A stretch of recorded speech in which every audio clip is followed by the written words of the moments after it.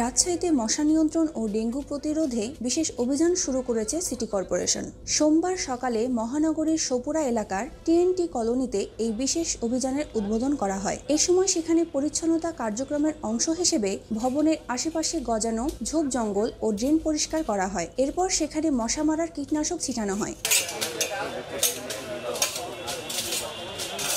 এ সময় সেখানে উপস্থিত ছিলেন রাশিকের প্যানেল মেয়র শরীফুল ইসলাম বাবু, প্রধান স্বাস্থ্য কর্মকর্তা doctor F A M Anjumanara Begum, প্রধান পরিচ্ছন্ন কর্মকর্তা Sheikh Mohammad Mamun dollar, ward councillor Abdus Sobhan Liton, Touhidul Haque Sumon সহ সিটি কর্পোরেশনের বিভিন্ন পর্যায়ের কর্মকর্তা কর্মচারীবৃন্দ।